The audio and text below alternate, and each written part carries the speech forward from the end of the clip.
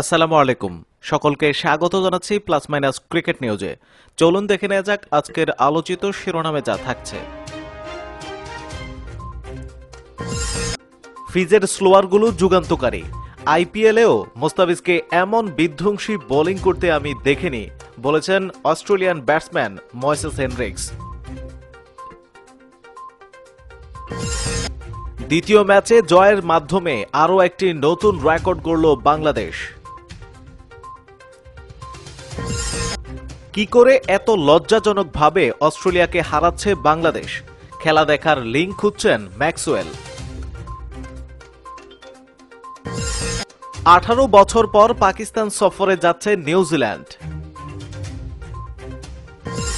বাংলাদেশের জয়কে আবারও খাটো করল ভারতীয় সংবাদ মাধ্যম। বিস্তারিত জানতে ভিডিওটিতে লাইক দিয়ে চ্যানেলটি সাবস্ক্রাইব করে না টেনে শেষ পর্যন্ত দেখুন।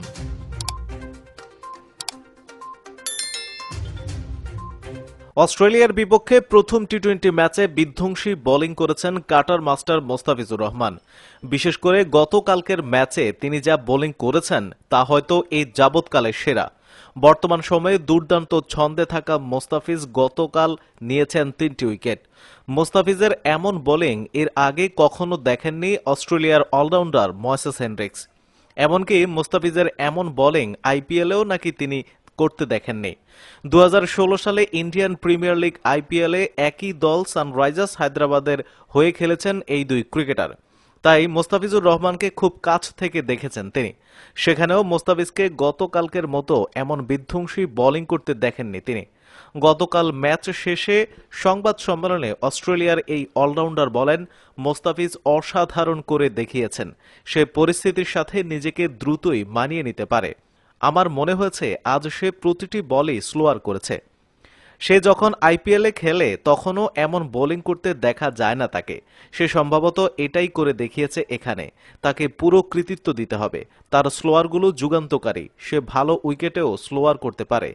যা খেলা খুবই কঠিন। আমাদের দ্রুতই এর সমাধান খুঁজে বের করতে হবে তাকে মোকাবেলা করতে। এদিকে দ্বিতীয় ম্যাচে জয়ের মাধ্যমে আরও একটি ইতিহাস করার নতুন রেকর্ড গড়ল বাংলাদেশ। প্রথম ম্যাচে তেইশ রানের জয়ে দুটি রেকর্ড গড়ে ইতিহাস করেছে বাংলাদেশ। একটি হল সর্বনিম্ন পুঁজি নিয়ে জয় পেল বাংলাদেশ। এর আগে টি টোয়েন্টি ফরম্যাটে বাংলাদেশের সবচেয়ে কম রান করে জয়ের রেকর্ড ছিল আরব আমিরাতের বিপক্ষে একশো তেত্রিশ রান। মঙ্গলবার অস্ট্রেলিয়ার বিপক্ষে একশো একত্রিশ করে জয় পেয়েছে বাংলাদেশ। দ্বিতীয় রেকর্ডটি হল বিশ ওভারের ফরম্যাটে অস্ট্রেলিয়ার বিপক্ষে সবচেয়ে কম রান করে জয়ের রেকর্ড। নিউজিল্যান্ডের দখলে থাকা রেকর্ডটি নিজেদের করে নিয়েছে বাংলাদেশ। এবার দ্বিতীয় টি টোয়েন্টিতে পাঁচ উইকেটে জয়ের পর আরও একটি ইতিহাস লিখেছে টাইগাররা। এই প্রথম অস্ট্রেলিয়াকে যে কোনো ধরনের ক্রিকেটে টানা দুই ম্যাচে হারিয়েছে বাংলাদেশ। এ নিয়ে এখন পর্যন্ত অস্ট্রেলিয়ার বিপক্ষে বাংলাদেশের জয় মোট চারটি। দু হাজার পাঁচ সালে কার্ডিফে প্রথমে ওয়ানডেতে হারিয়েছিল বাংলাদেশ। এরপর দু হাজার সতেরো সালে ঘরের মাঠে টেস্টে অজিদের হারায় বাংলাদেশ। এবার পাঁচ ম্যাচ টি টোয়েন্টি সিরিজের প্রথম দুটিতেই জয় পেল টাইগাররা। মিরপুর শেরবাংলায় বুধবার দ্বিতীয় টি টোয়েন্টিতে আগে ব্যাট করতে নেমে নির্ধারিত বিশ ওভার খেলে মাত্র একশো একুশ রান সংগ্রহ করে। একশো বাইশ রানের তাড়ায় ব্যাট করতে নেমে শুরুতে কিছুটা বিপাকে পড়ে বাংলাদেশ। পরে সাকিব, আফিফ ও সোহানের ব্যাটে ভর করে আট বল বাকি থাকতেই জয় পেয়েছে টাইগাররা।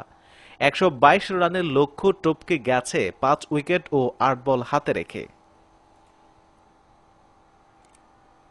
অন্যদিকে, কি করে এত লজ্জাজনকভাবে অস্ট্রেলিয়াকে হারাচ্ছে বাংলাদেশ? তাই খেলা দেখার লিঙ্ক খুঁজছেন ম্যাক্সওয়েল। খেলতে রাজি হলে ম্যাক্সওয়েলকে এখন কি আর হাহুতাশ করা লাগে? স্টিভ স্মিথ ও অ্যারন ফিঞ্চ না হয় চোটের কারণে আসতে পারেননি। ডেভিড ওয়ার্নার, প্যাট কামিন্স ও গ্লেন ম্যাক্সওয়েল বাংলাদেশ সফরে আসেননি ব্যক্তিগত কারণে। বাংলাদেশ সফরে এলে খেলা নিয়ে হাফিত্তেশ করতে হতো না ম্যাক্সওয়েলকে। নিজেই তো মাঠে থাকতেন, তাতে অস্ট্রেলিয়া দলেরও উপকার হতো। মিরপুরে কাল সিরিজের দ্বিতীয় টি টোয়েন্টি শুরুর পর একটি টুইট করেন ম্যাক্সওয়েল। অস্ট্রেলিয়ার টি টোয়েন্টি খেলা দেখার লিঙ্ক আছে কারও কাছে? ম্যাক্সওয়েল হয়তো ঘূর্ণা করে ভাবেননি, ঘরে বসে সতীর্থদের খেলা টিভিতে দেখতে পারবেন না। কিন্তু ঘটেছে ঠিক সেটাই। অস্ট্রেলিয়া তাদের জাতীয় দলের বাংলাদেশ সফরের খেলা স্বীকৃত কোনো মাধ্যমে দেখানো হচ্ছে না। উনিশশো চুরানব্বই পাকিস্তান সফরের পর এই প্রথম দেশের বাইরে অস্ট্রেলিয়ার কোনো সিরিজ দেখাচ্ছে না অস্ট্রেলিয়ান কোনো মিডিয়া। ম্যাক্সওয়েল তাই বাধ্য হয়েই টুইটটি করেন। অনেক সমর্থক তাকে অনেকভাবে সাহায্য করেছেন। কেউ কেউ ম্যাক্সওয়েলের খেলতে না আসার কারণও জানতে চান। এক সমর্থকের মন্তব্য, কি কারণে খেলছেন না সেটি বলতে পারেন? বাংলাদেশে আপনার অনেক ভক্ত আছে, যারা আগ্রহ নিয়ে আপনার খেলা দেখত। আরেক সমর্থকের খোঁচা, অস্ট্রেলিয়ার জন্য কালো দিন। উনিশশো চুরানব্বই সালের পর তারা নিজেদের ম্যাচ টিভিতে দেখতে পারছে না। কাল দ্বিতীয় টি টোয়েন্টিতেও বাংলাদেশের কাছে পাঁচ উইকেটে হেরেছে অস্ট্রেলিয়া। পাঁচ ম্যাচের সিরিজে প্রথম দুই ম্যাচ হেরে দুই শূন্য ব্যবধানে পিছিয়ে পড়ল সফরকারী দল। এর আগে অস্ট্রেলিয়ার নিয়মিত টি টোয়েন্টি অধিনায়ক অ্যারন ফিঞ্চও অস্ট্রেলিয়ার খেলা টিভিতে দেখতে না পেরে আক্ষেপ করেন।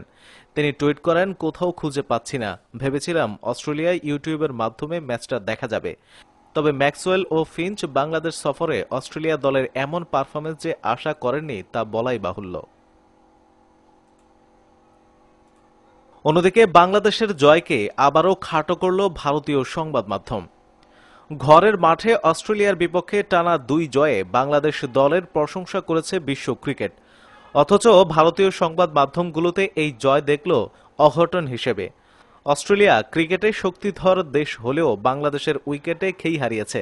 দুই ম্যাচেই অজিদের একশো পঁচিশ রানের কমে বেঁধে রাখেন বাংলাদেশের বোলাররা। দুই শূন্যতে এগিয়ে থাকা বাংলাদেশ পরবর্তী ম্যাচে ফেভারিট হিসেবেই নামবে। যেখানে আর সবাই টাইগারদের এমন জয়ে পঞ্চমুখ, সেখানে অস্ট্রেলিয়ার হারকে অঘটন হিসেবে দেখছে ভারত। কলকাতার আনন্দবাজার পত্রিকা লিখেছে, ফের অঘটন। দ্বিতীয় টি টোয়েন্টি ম্যাচেও অস্ট্রেলিয়াকে হারালো বাংলাদেশ। এভাবেই বাংলাদেশের এই জয়কে খাটো করা হয়েছে অঘটন শব্দ জুড়ে দিয়ে। অস্ট্রেলিয়া টি টোয়েন্টি র্যাঙ্কিংয়ের শীর্ষ পাঁচ দলের একটি।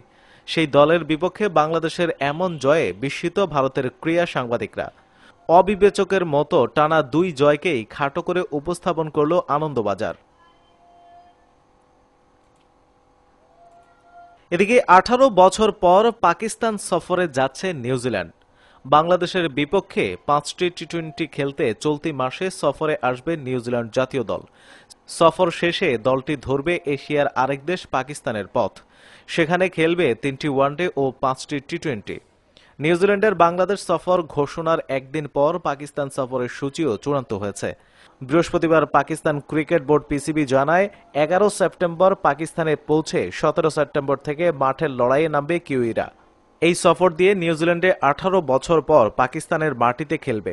দ্বিপাক্ষিক সিরিজ শুরু হবে ওয়ানডে সিরিজ দিয়ে। সতেরো, উনিশ ও একুশ সেপ্টেম্বর রাওয়ালপিন্ডিতে ওয়ানডে সিরিজের ম্যাচগুলো অনুষ্ঠিত হবে। ওয়ানডে সিরিজ শেষে দুই দল পাড়ি জমাবে লাহোরে। সেখানে পঁচিশ, ছাব্বিশ ও উনত্রিশ সেপ্টেম্বর এবং এক ও তিন অক্টোবর টি টোয়েন্টি সিরিজের ম্যাচগুলো অনুষ্ঠিত হবে।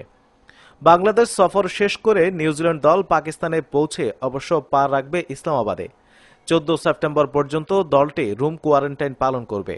ইন্ডিয়ান প্রিমিয়ার লিগ আইপিএল এর কারণে নিউজিল্যান্ডের কয়েকজন ক্রিকেটারের বাংলাদেশ ও পাকিস্তান সফর নিয়ে অবশ্য সংশয় রয়েছে। প্রিয় দর্শক, বাংলাদেশ অস্ট্রেলিয়াকে হারিয়েছে পুরো আধিপত্য বিস্তার করে। সব দিকেই বাংলাদেশ ভালো করেই অস্ট্রেলিয়াকে হারিয়েছে। অথচ এই ভারত বাংলাদেশকে তাচ্ছিল্য করে এই জয়কে অঘটন বলছে। এই বিষয়কে আপনারা কীভাবে মূল্যায়ন করবেন অবশ্যই কমেন্ট করে জানিয়ে দিন এবং প্রতিদিন ক্রিকেটের খবর সবার আগে পেতে প্লাস মাইনাস চ্যানেলটি সাবস্ক্রাইব করে পাশে থাকা বেলাইকনটি প্রেস করে রাখুন। ধন্যবাদ সবাইকে।